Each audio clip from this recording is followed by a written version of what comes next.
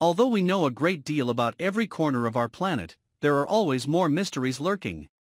One scientist learned that when he conducted an ambitious expedition into the jungles of Mozambique. The journey would be like no other, and the bizarre discoveries he found there would forever change him. Conservationist Julian Bayliss always dreamed of grand adventures. An explorer, he yearned to travel the world and see sights never before witnessed. Often he would scroll through Google Maps, daydreaming about the possibilities. And one afternoon he noticed something that stopped him cold. Looking at the top of the distant Mount Lico in Mozambique, he spotted something truly odd and remarkable, an entire rainforest. And what's more, he was pretty sure that no one had ever been there before. Even more intriguing, the sides of the cliff were steep and seemingly impenetrable. If Bayliss was right, this was his chance to go where no man had gone before. What he didn't yet know was that there was a very good reason for that. Bayliss got straight to work assembling a team of superstars. The 28-person expedition included scientists, doctors, rock climbers, and even a chef. What they all had in common. They were the best in the world at what they did. To get to the base of the mountain, the researchers first traveled through villages, negotiating with locals and navigating rough terrain. Without the benefit of roads, they abandoned their vehicles and continued, completely unaware of the horrors and the darkness ahead. After finally reaching the base, they found that the mountain was so tall they couldn't even see the top. Standing at over 400 feet, Mount Lico is taller than two leaning towers of Pisa combined.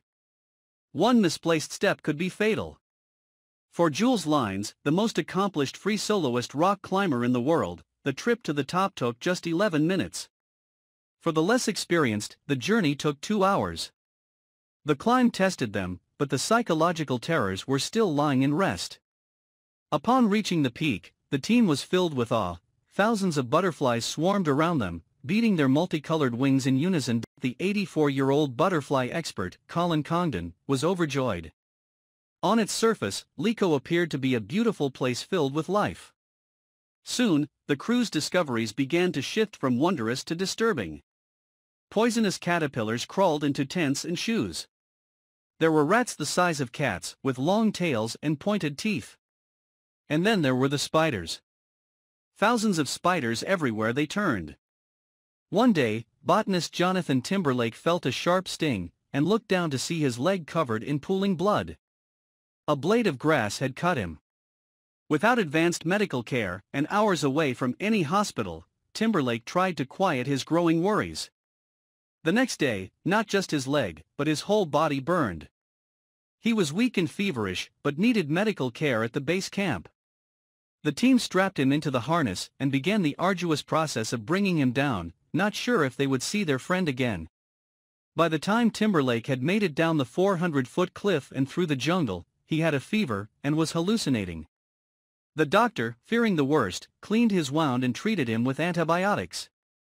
All there was left to do was wait. Miraculously, Timberlake made a full recovery, though he decided to spend the rest of the expedition at the base camp. What he didn't know was that he may have been one of the lucky ones. On top of the mountain, the trouble was just starting. They hadn't anticipated the strange and horrifying creatures they came to encounter on the mountain, and a lack of birds made the forest eerily silent. The only audible sound was their own footsteps, trudging through the darkened jungle. Then came the discovery that completely changed everything they thought they knew about Mount Lico. Walking along a stream beneath the thick brush of trees overhead, one of the team members shouted out in exclamation. He had found something truly inexplicable.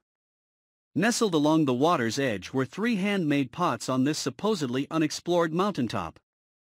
Bayliss felt a cold chill go down his spine, as a scientist, he was usually ready for the unexpected, but he could feel something sinister lurking beneath the surface. The team got to work on solving the mystery. Some of them guessed the pots had been used for religious ceremonies that beckoned the rain during a dry year. The explorers asked locals if they'd ever heard of anyone attempting to climb Lico before. To their surprise, the elderly natives did have some clues. They spoke fearfully of a tribe of murderous little people who used to live up on Lico. When the villagers approached the mountain base, tribe members would throw snakes on them.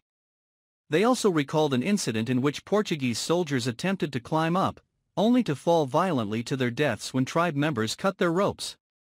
However, some locals had even more macabre theories about what happened on that mysterious mountain all those years ago. The elders told a story of German colonizers who forced a group of locals to flee to the mountaintop. Once they were up there, the Germans did something that amounted to a death sentence. The colonizers cut the rope the villagers used to climb up. They were left stranded with little food and no way to return to their homes. They were cursed to wait out the rest of their lives starving, huddled in a cold dark forest. Bayliss and his team shuddered. They had gone to the mountain to experience beauty and taken the wonder that nature had to offer. Little did they know, this supposedly untouched oasis was actually tainted by a tale of horror and human aggression. But they kept forward with their search. In a region as long settled as Africa, any given cave can reveal a groundbreaking discovery.